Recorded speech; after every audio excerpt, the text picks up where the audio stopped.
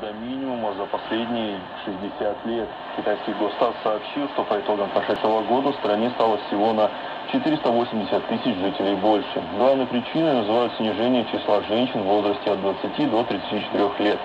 С 2016 по 2020 оно уменьшалось в среднем на 3 миллиона ежегодно. Свою лепту внесла и быстрая урбанизация. Молодые жительницы больших городов больше ориентированы на карьеру и саморазвитие. Низкая рождаемость и резкое старение населения грозят серьезными социально-экономическими проблемами. Поэтому китайские власти с 2013 года разворачивают демографическую политику на 180 градусов. В 2016 они сняли все ограничения на рождение второго, а прошлым летом третьего ребенка.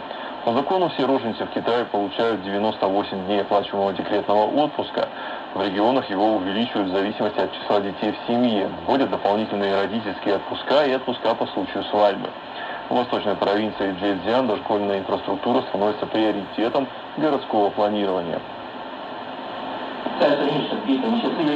Мы решили продлить декретный отпуск, регулируемый центральным правительством, на 60 дней для первого ребенка и на 90 дней для второго и третьего ребенка. Пока ребенку не исполнится трех лет, обоим его родителям предложен ежегодный 10-дневный дополнительный отпуск.